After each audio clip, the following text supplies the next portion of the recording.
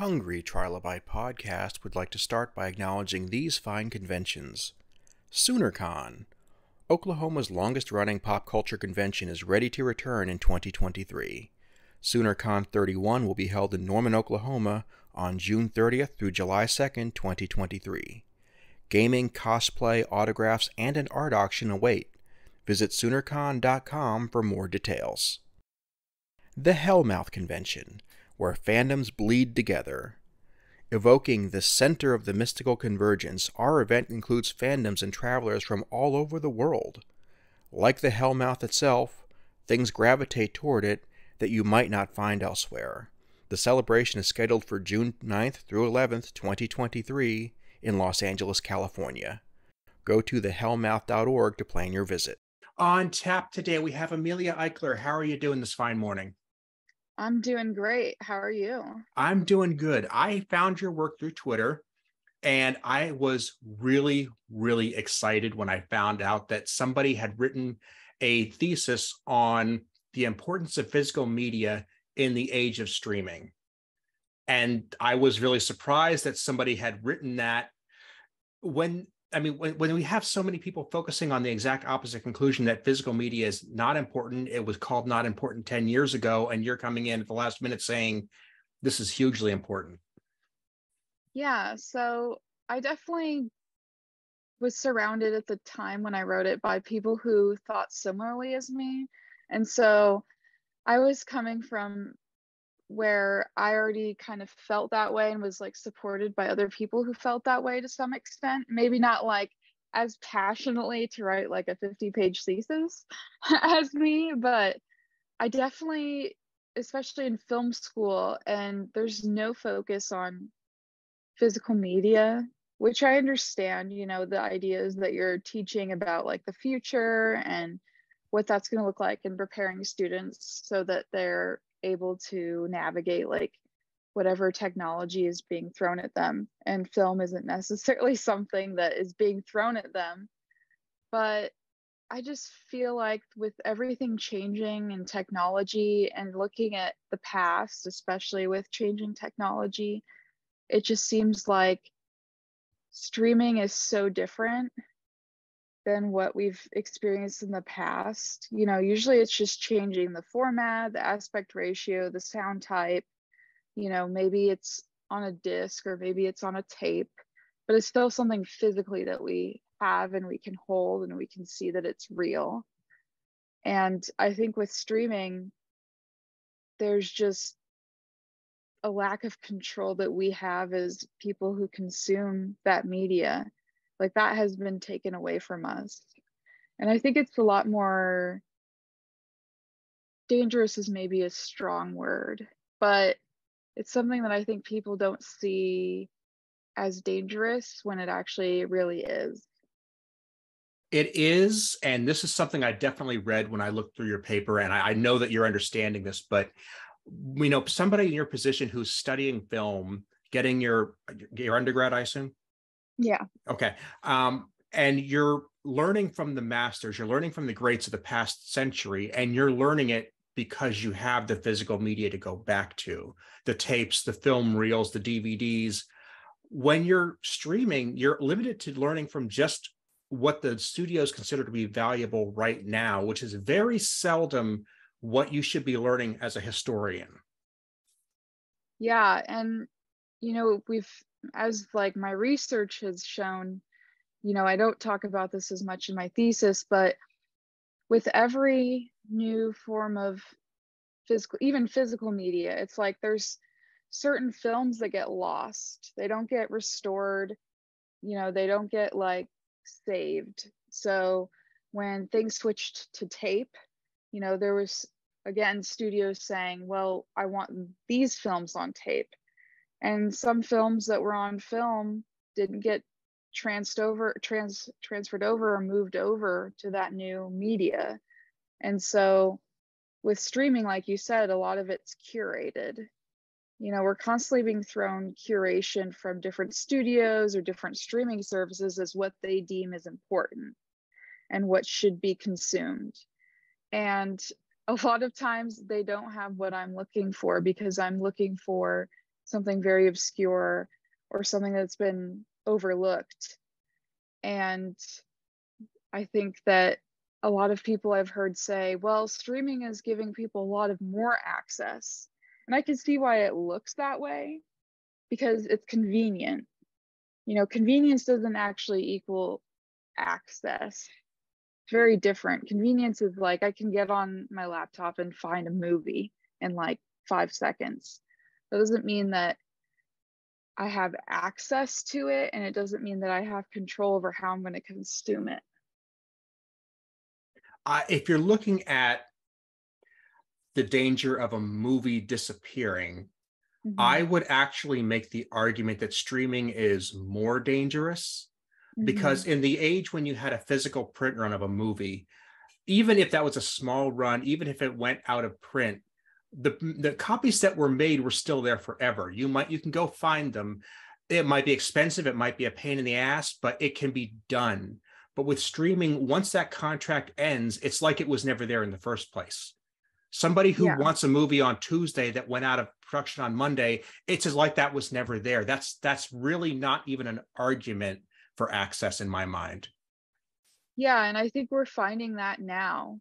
Like I'm finding a lot more discourse on the internet right now about people being like, "Wait, you know, when something is especially with newer shows, you know, I'm finding at my job like professors are requesting media that hasn't even been you know made to order on dvd or blu-ray or blu-ray hd or all the different disc formats and we can't give that to them and they can't access it because they don't have like that subscription or you know that film has disappeared.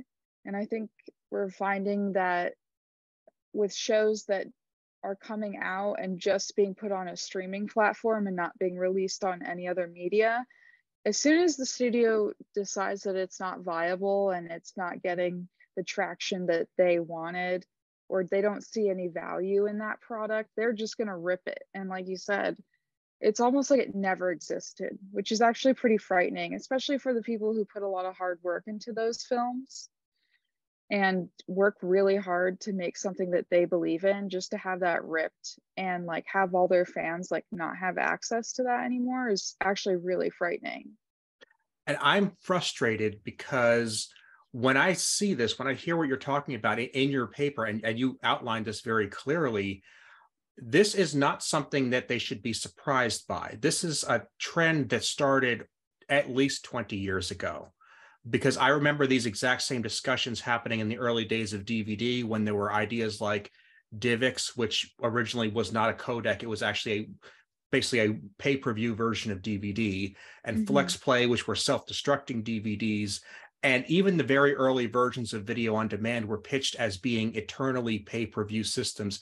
It's like the studios have always wanted a, a, service where you paid every time you touched the media, and they finally have it after almost 30 years. This is not new. Yeah, it took them a while to get there, but they finally have it. And, you know, in my paper, I talk about even further back how a lot of studios did not like the idea of people renting videotapes.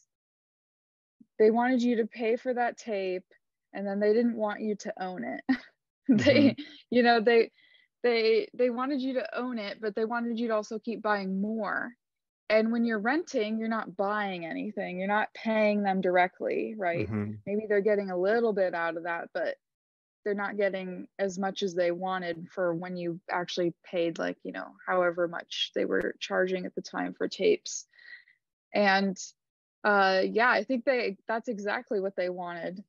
And it's crazy to see the trend over time and people not really catching on. And now no. people are starting to catch on because people are seeing that things are getting pulled and just disappearing. So it's like very abrupt and very in your face and i think that's probably why people are noticing now. Um, mm-hmm. you know as we're we're seeing it all laid out but when it's actually happening in real time it doesn't feel as jarring no. i think. It, it seems to be something we're slowly at least understanding, if not accepting, that you know you have your netflix subscription and these movies come this month and these movies go this month. And the, to me the whole point of having media at home is that it's on your schedule when you want whether that be this month next year 10 years from now that's that's why you invest in that equipment. Uh, when we were talking about tapes and the cost and the rental for a while there the, the, studios thought that well we'll just sell tapes at a very large price and then we'll knock them down for consumers eventually. And then dvd came along and some genius figured out if we make these things cheap and the quality high we'll sell a ton of them. And that was great. The studios at the same time hated it because they knew they had high quality copies that people didn't have to replace if they didn't want to. And you yeah, can almost I, see them say i got to find another answer.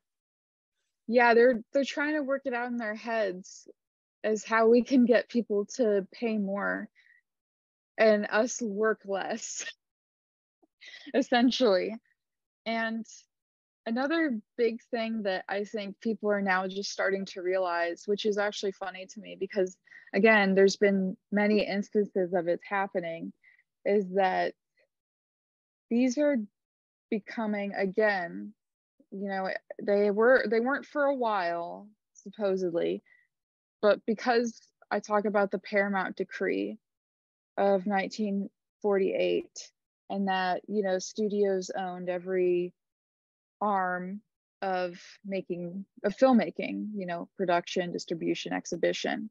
And they said well you have to give up one thing and they gave up exhibition. That's you know a the theater isn't necessarily quote unquote as big and it's big in my opinion obviously because i go to movies all the time but it's not thought of as like this big money making entity anymore. And so they've just switched over to streaming streaming is their new exhibition it's a virtual theater that's what i see it as and so now they're owning all three again they're owning production distribution exhibition and that is in conflict with the Paramount Decree, in my opinion. And I've read some other articles that say that. And so now they're monopolies again. They're giant monopolies. And people are now saying, wow, it's like they're controlling everything. They're giant monopolies. I'm like, well, yeah. I am not a lawyer by any stretch of the imagination, yeah. but it is my understanding that as of a year or two ago, the Paramount mm-hmm. decree was rendered null and void because they had actually gone through and looked at any law that didn't have a sunset clause. Mm-hmm. And and that was one of the ones that they said that they were just going to and the logic was that the, the technology available now meant that the they would never be able to recreate the monopoly system they had in the 40s. Now, if I'm wrong on that, I'm sorry, but yeah. that I just recently had this discussion and this is fresh in my mind. Oh no, you know, because you know, I still read a lot about this stuff but because of my paper and that's the problem with my papers that i couldn't stop adding stuff because stuff was constant news was constantly coming out and you know at the rate that the news was coming out i would write like the paper would never be finished mm-hmm, uh, mm-hmm. because it's just nonstop especially because streaming just seems to get bigger and bigger and bigger um, and yeah, I, I I find that interesting though that they're saying, well, it could never be the same. And I understand because it's like, you know, there's not any block booking. It's not exactly like a theater, but it is a form of exhibition. And so I still find it interesting that, well, they now also own exhibition to some extent. It may not be theaters and it may not be exactly what's written in the paramount decree but they're still now they're monopolies again in some sense i i tend to agree with you and my personal feeling is that if you own the only way i can see that movie then that you basically do own the exhibition if there was a time because of the what the paramount decree used to mean was that i could go see your movie but i could go see it in a theater owned by one of 10 companies. So that was not in your, but if the only way I can see it is on your streaming service, then that is functionally the same thing to me. Yeah. Yeah, I agree. And we're finding that now that especially you know streaming services are less becoming like general libraries and more just this is stuff we have licensed and we own and so it's only going to be on our streaming service you can't find it on all these other platforms and i'm finding that more and more each day when i'm trying to find a movie just on the roku and all of a sudden i have to pay for it on all these streaming services that I thought I had, you know, I thought I had access to that title. And if I were to just spitball here, I would say that mm-hmm. generally speaking, the customer was better served by the iTunes Google model where you pay for a specific title and eh, you can have different people offer this. I'm not saying just stick it to Apple mm-hmm. or Google, but and then you get that title digitally streamed owned whatever but you can go to somebody different each time or you can pick your favorite but to always have to go to a shared service which is a subscription and that's what always yeah. gets me it's a monthly fee whether you use it or not you're not paying per title anymore and that's i think that really does the customer a disservice i think so too because at least for me and i don't know about other people who like day to day use streaming services, but I'm always hunting for a specific title, usually. I'm not looking for, I don't engage with movies where I'm like, you know what? I only want to watch movies owned by Amazon. so I'm going to subscribe to Amazon so I can only watch Amazon movies. At least for me and most people that I see on Twitter, film Twitter, they're looking for specific titles. And so I think that's why a lot of them actually buy physical media is because they're looking for a specific title and they're not looking to subscribe monthly to access all these other films that they don't know about. You know, if you are maybe adventurous and you're like, well, I'd like to explore this library by this one company or this one streaming service, then that would make sense, I guess but I don't feel like that's how most people consume film at all. No, and if anything, the the what you just described of going through a company's library or the way you pop up Netflix and it says these are this is what's trending on Netflix now, that's an extension of what we used to call couch surfing, where you mm-hmm. would turn on the TV and you would just go up through the channels till something grabbed your interest. But we got away from that almost 15 years ago. It started off with the DVR and then it evolved into streaming. But we got away from the idea that you just passively looked and waited for something to come along. You said, I want to watch uh, Stranger Things. And you sat mm-hmm. down and said, I'm going to watch Stranger Things. And when Stranger Things was done, you turned off the TV and you went and did something else. And that's a new thing. It was, it, and I don't think enough people still want to couch surf to, to justify this model. Yeah, and because the whole idea with streaming is that we're getting away from cable. You know, mm-hmm. this is not cable.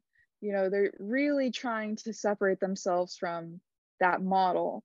But I find that really interesting what you just said is that it literally is couch surfing. And it's not, but it's not, to me, not as rewarding because, like you said, you watch that one thing, you sit through it, if you find something that catches your eye and then you're done you know? But with the way these streaming services are set up you're supposed to like consume all of it at once. Like they call it binging you know? Mm-hmm. and maybe sure. i did that in some form on the on tv if there was a marathon right? Or something like that. Like twilight zone marathon is like something i could think of that i did binge. But they just want you to consume consume consume but only be their product, mm-hmm. their library. Mm-hmm. And most people, like you said, don't look at a specific film company's library. You and I might, in very specific circumstances, because we're historians and we like to look at the art and the history of it, but that's not what you expect from the average consumer, nor would it be reasonable to even suggest it. People want at least a genre or or an idea before they even sit down.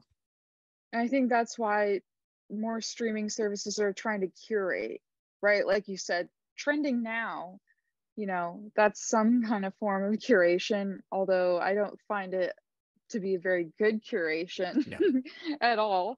Um, yeah, I don't think it's I I don't think the and again the curation is like they're choosing it for you still. You're being told what to watch and told here are your options. Pick one.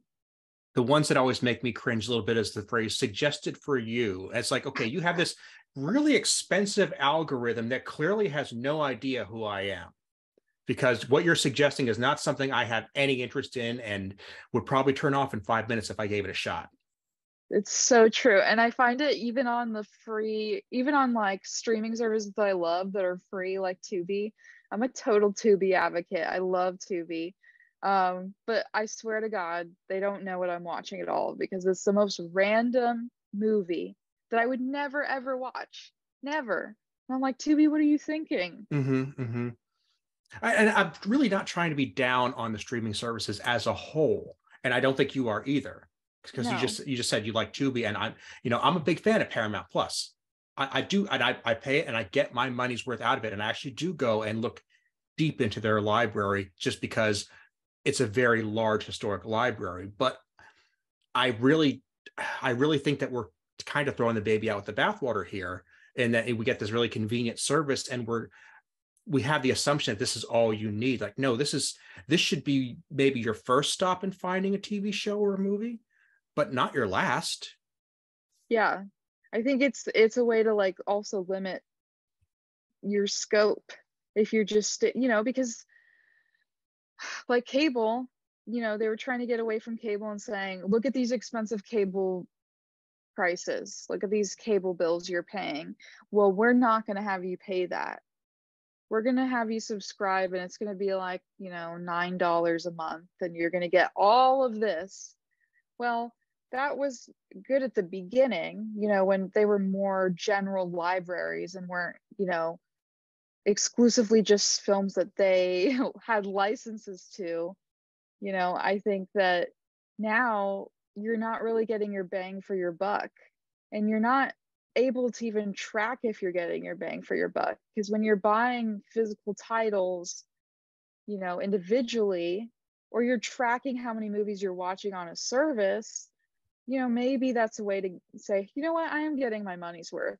But i think a lot of people are just auto renew that subscription fee and you know hopefully i'm getting what i'm paying for but i don't actually know Yeah, and it's very difficult. I mean, they have your usage data, so I'm not saying they don't know, yeah but at the same time, uh, companies that will grab three or four different giant libraries, like Amazon and Disney, being some of the biggest offenders, and they're saying, "Well, we have all this content." Yes, but you're appealing to such a you, you really have no cohesive platform anymore. You don't have you're not offering a cohesive product. You're just offering this large buffet that's indistinguishable from what cable used to be. Yeah, I definitely have seen it in my mind as a buffet. And it's a, you know, I'm like, well, I don't want to eat just this kind of food. I also want to eat this kind of food. Well, if I want to eat all this kind of food, I have to now pay all these little subscription fees. Mhm. And it isn't just $9 anymore.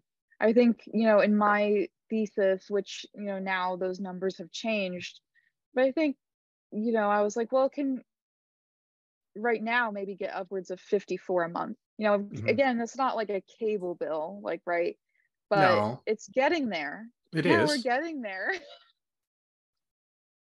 Yeah, yeah. I'm, I strongly advocate if you're when you get the subscription services, heavily audit what you really use and what you're what's really worth to you because it's the auto renewal is not worth it. If you don't think you're going to use it every month, don't have it. Really, just just don't have it. You can always come back to it. They will take your money in February if they don't take it in December. It's, it's okay. They're okay with that.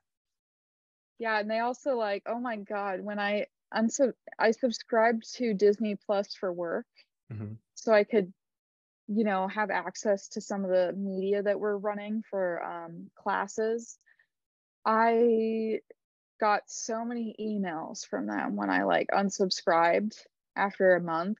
They're like, "Are you sure? Are you sure?" It was like five. It was like crazy that they're, and I'm like, wow, this is really aggressive targeting to Mm-hmm. get me to get back on the service because they're trying to compete with all these other services now. You know, at first it wasn't this huge competition game. A lot of them were like, oh, I got in, you know, people are subscribing, I'm getting some money. But now they're like, wait a minute, there's, you know, uh, Paramount Plus, there's, I mean, I don't even think Sony, does Sony have a streaming service? I guess they have Uh, there's, I think they were bought by somebody else, or their service was, I should say. I don't even remember Yeah. who. they, you know, all these other studios are looking at each other like, well, now I have to compete with all these other studios services when it was just me at the beginning. Mhm. So I'm always wondering like how aggressive they're trying to target people who give up subscriptions based on like the competition. I'm sure they have enough money. I mean, they're giant companies, but I'm always Right. wondering like how they're trying to improve their their, you know, uh usage like how many subscribers they have. Sure. And they might be giant companies, but at the same time, some of these services were so expensive to boost and, and start up that no matter how much money they have coming in, it could be years till they see that investment back. And that's the same as being dirt poor in some cases. It is, and I think like some of them are now realizing that a lot of that monthly subscription that they're getting is not enough. It's not Mhm. enough to like like they're not making money. Mhm. I don't know if it's gonna last. Like I think I don't know if they realize, like you said, right? It's like the payoff is kind of way down the road. Mhm. but I, I think they're now realizing like we're not really getting a lot of money from these services because they're not getting residuals they're not getting royalties it's like monthly subscription that's it you know i'm not yeah, it's like ro- yeah it's crazy you know, I give Di- I don't subscribe to Disney at the moment, but you know, I could give them my 10 bucks a month. And whether I watch one Star Wars show or 20, they're still getting 10 bucks a month for me. If Yeah. only there was some way they could sell me that specific show on a little shiny thing they could ship to my house, I might give them more money for that. How about that for a concept? no because that would mean they're giving up control Right. And that heaven forbid that because you know, I don't pay for that. That that's that's not money that I would be willing to shell out if there were a little bit of control in my life. it's like they they now have to choose mm, do we make more money or do we allow people to own things again hmm. Mhm. Hmm. not sure Right. And you know, if you go into any room in my house, you can see that I have spent no small amount of money on Star Wars stuff. So Mhm. it's not like this is something that they can't talk me into here. Why don't I, I- I just don't get it. It's I understand they have to control their product, but if I don't want it, their product isn't worth anything. i'm gonna be honest i don't think they get it Okay. I like that. I don't think they get it. Again like i said i don't think they realize that they're not they're not getting their bang for their buck. And i think maybe they're slowly realizing it but i think it's going to take them a while to realize hey actually we were making more money when we were charging people for like individual titles as opposed to you know paying one one fee for all these films Yeah. And like I kind of said earlier, it took them the better part of 25 years to figure out they made more money with cheap DVDs than expensive VHS tapes. And that I, that really isn't a reason they should have taken that long, but they're stubborn and in some ways dumb. do you think they'll it'll how long do you think it'll take uh them to realize maybe they're not making as much money or do you think they even care at this point really I think they might care if the biggest players weren't who they were. But the fact that we now have Disney and Netflix and Amazon in this three way bear fight, and they all own so much, I don't think they're good at counting the little things anymore. I think that that's where they're really losing the plot is that they don't want to sit and say, well, what if we just did less and charged a reasonable? That that's not their game plan. Disney's all about hotels that cost five grand a night and Netflix, it, people don't realize they basically invented the Roku for this reason. They were going in this direction. Uh, and Amazon is, I mean, they're in the spaceship business now. They're, they're not into counting $3 DVD rentals.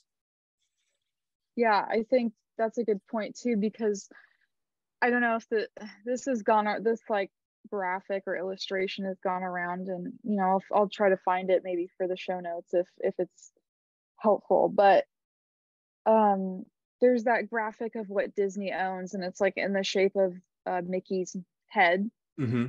and it's it's really frightening actually for me to even see like what all of these companies own and they don't even like know what they own sometimes mm-hmm. and it's like the same thing with libraries like um, when Disney bought 20th Century Fox. I'm like, I kind of just sat there and I was like, I don't even think they know or care what they uh, now own. You know, like mm-hmm. I'm watching 20th Century Fox films.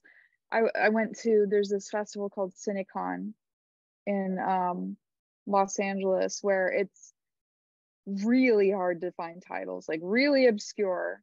Um, and that's why I go because I'm not going to be able to see it any other way. And I'm going to see it in this historic theater and sometimes on nitrate.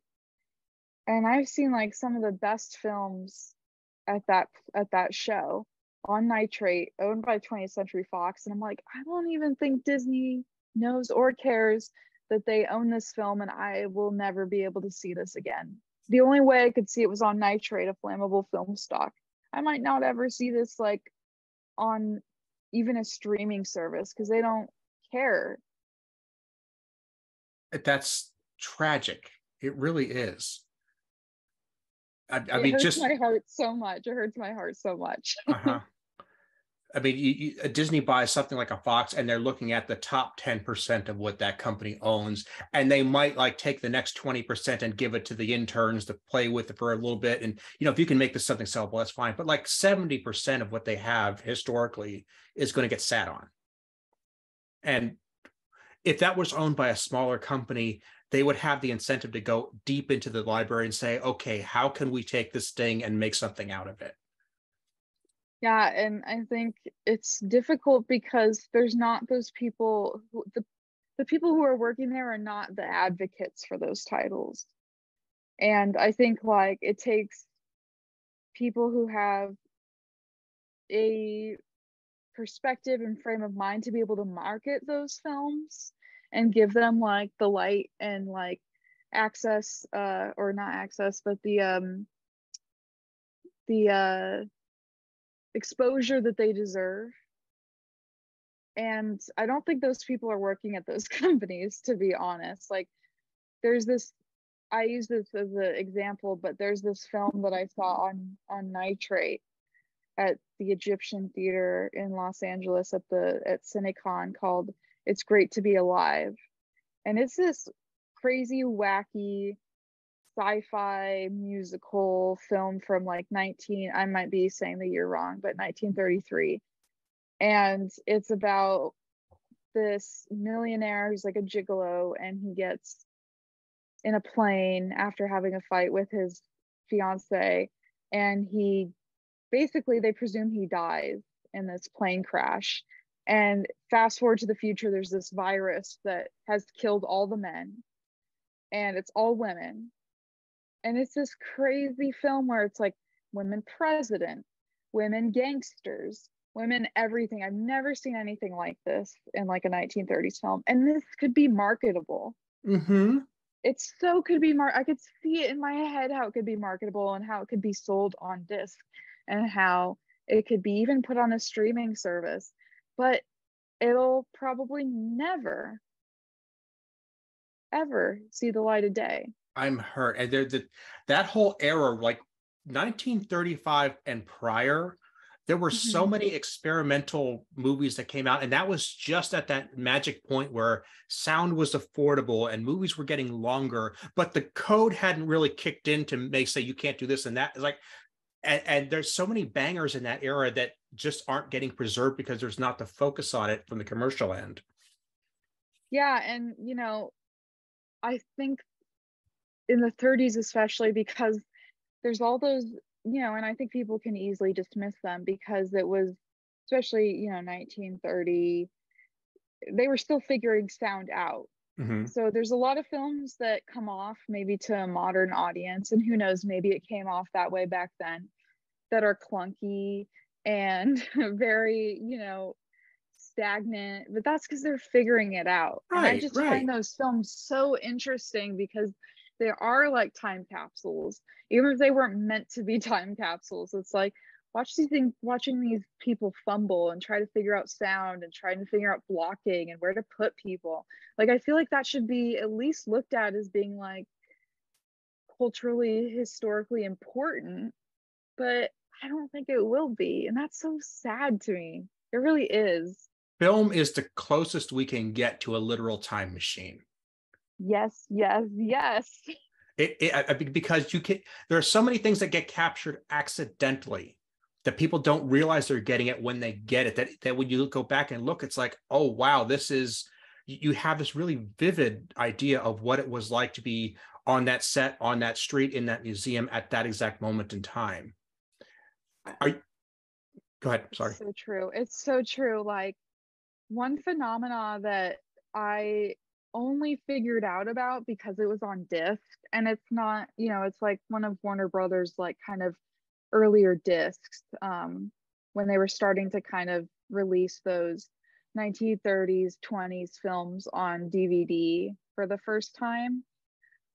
My mentor who does home video restoration and he's been projecting for 50 years now and that's crazy to me oh my god he's so amazing uh he was telling me i'm watching these you know early 1929 1930 films on disc and i've noticed something really odd. He was like i've noticed that there's these pauses that these actors are doing.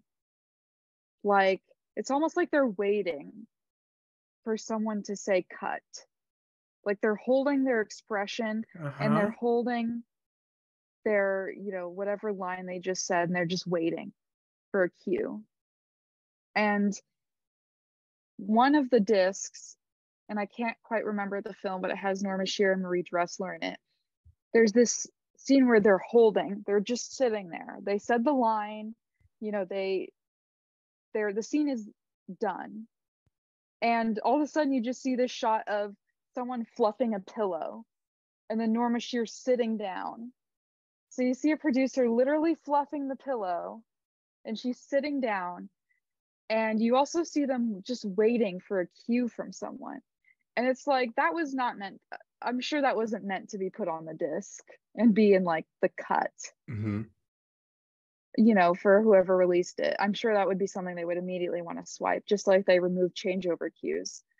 But this is like something like that you wouldn't normally ever see. And it's just on this one DVD at this video store that we just happened to see.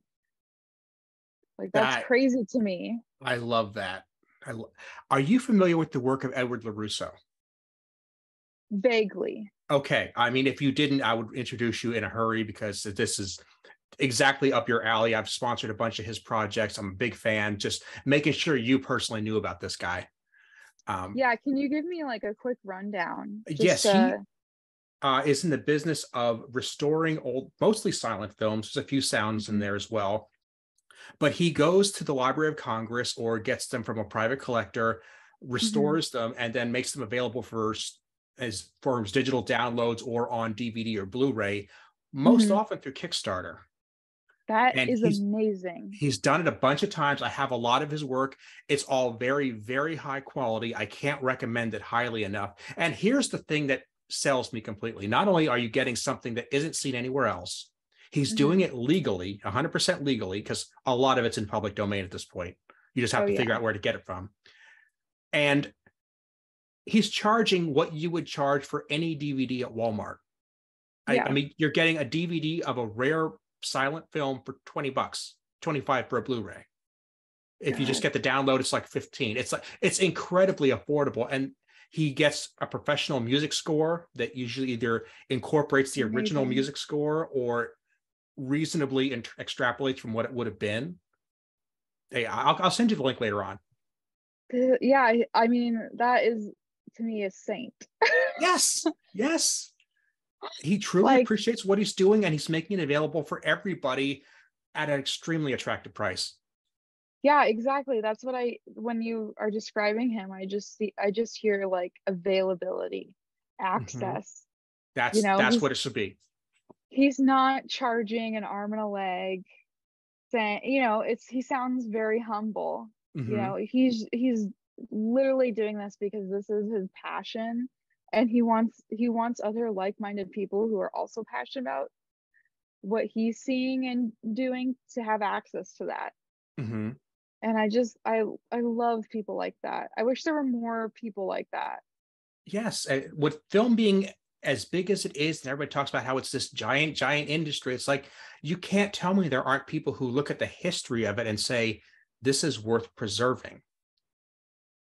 There's so many little people out there who are working on things like that projects like that you know kickstarters gofundme's you know and grassrootsing it you know where they're they're trying to raise the money and they just want people to have access. They want the film that they're restoring to get the notoriety that it deserves to get people to appreciate it. Even if those directors are and i've said this before like i don't care if the directors are alive dead you know they've been dead for maybe a 100 years i don't care like i feel like every film deserves some appreciation and somebody to be able to access it and enjoy it And not only that, I I agree completely with whatever you just said. I, I do.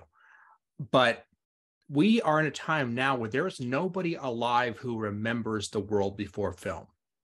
That this has been our whole life. The oldest person on the planet remembers going to the movies.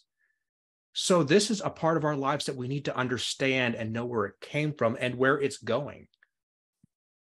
yeah and i think the comforting thing for me about writing my thesis is because i and just history in general is that you can trace what's happening and watch it unfold. And i think like the scary thing is with streaming you know i can make as many guesses or assumptions of what is going to happen and what the future is going to be but i don't know. Um you know especially with how the world has been the last few years i don't have any idea of what might happen you know what's next after streaming people keep asking that question you know i think streaming right now is a little stagnant i don't Mm-hmm. know what's gonna i i just wonder what's gonna happen If I had to guess, and I don't like to do Mhm. that, but yeah I would say the next big development is not going to be technological. It's going to be social. Mhm. Is that, and by social, I mean it's going to be a mix of what the customers want and what the industry is willing to provide. Is that we're going to say this cable 2.0 model isn't what we want. We want either this and another choice, or we want to split this up or get more control over individual titles. We, I really think that there's going to be a point at which people say this needs to be something better. Yeah i think people are already slowly beginning to say it. I think you know i don't know if because i'm i'm you know this isn't a huge cons- i haven't been taking like a consensus of everybody's feelings about it but i think like i said the jarringness of people seeing things disappear so new shows at least disappear right in front of them i think they're already starting to realize this isn't actually what i wanted to sign up for Mhm. and i i just yeah i wonder if people are going to kind of go with that and advocate for something better or if they're kind of just going to be like oh well and then you know more is going to happen more similar things like that are going to happen and then it's just going to get to a boiling point Mhm. but Yeah. Yeah. it is it's crazy you know cable going from cable but then like they have stuff like um i'm trying to think of those packages that they do like you what is it sling or um try to think of those where they're like buy this and then you have access to these cable channels or these live tv channels they don't even call it cable really. They call it live TV, I guess. Mm-hmm. Um, where it's packages, but I'm like, this is just like cable, you guys. Yeah. And This the reason it. we got away from it is that it just wasn't delivering what we wanted anymore, which slowly but surely the bigger streaming services are getting to that point. I, I really think that if I had to design it, you'd have a lot of very small people with very small libraries offering small chunks of what they have online. You'd have almost individual studios or artists starting to offer their content as opposed to the giant package. Yeah, the package just gets really confusing. And again, it's a way for me to not be able, at least me, you know, I have a hard time keeping track of everything in my life, let Mhm. alone like what I've consumed in terms of film and television. So to me, the packages are just even more confusing. Yeah, I I would for as the con- foreseeable future, I can see I will continue to pay the monthly fee for Paramount Mhm. Plus because there are a lot of things I watch on there, and just getting it all in one time makes sense to me.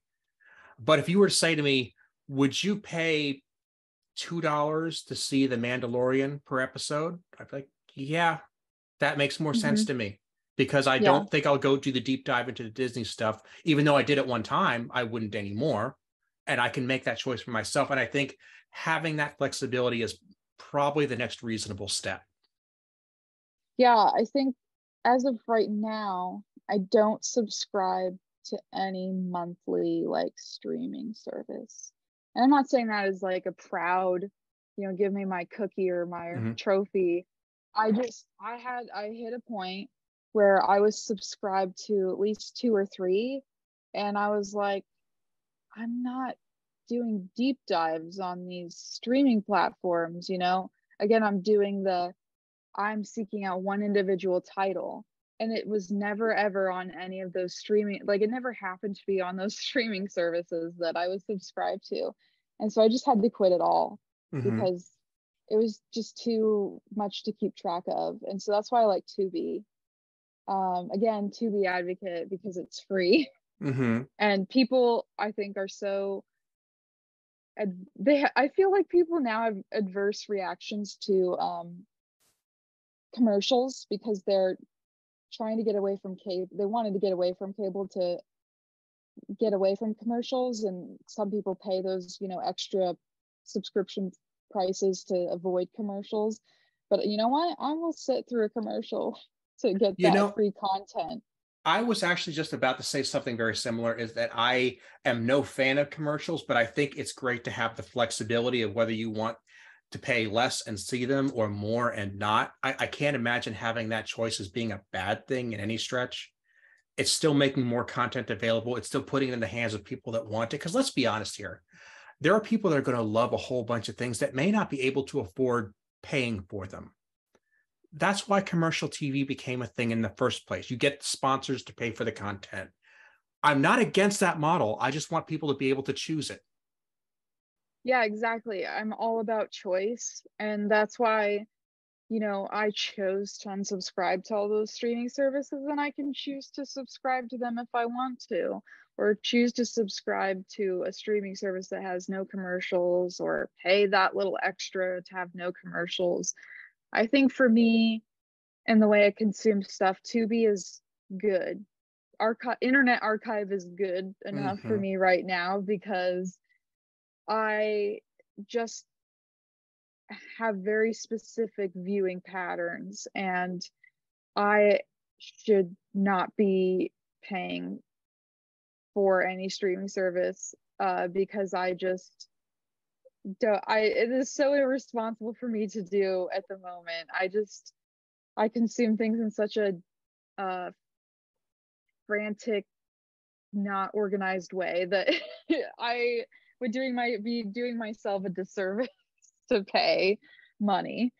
I love going in the Internet Archive, downloading a bunch of stuff on a USB drive and slapping it into the big screen. And all I have to ask is why haven't they taken the next step and made their own streaming service? I've literally been thinking that my like for so long because there's so much stuff on there that like I've I've never found anywhere else and I just don't want to watch. I have attention problems. I don't want to watch it on my tiny computer web browser. Um, I yeah, please Internet Archive, please like. You've got my support if you ever do it for sure. I know, right? I'm totally. I will sign that petition. I will donate that that money to make that happen. Well, Amelia, I want to thank you so much for doing this. I'm really enjoying this chat, and there's a whole bunch more I think we could cover.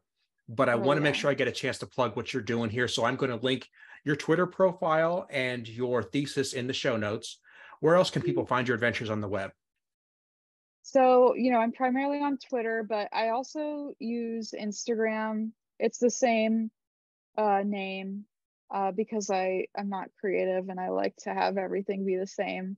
So yeah, I'm on Instagram. I post a lot of film frame images or film stuff on there.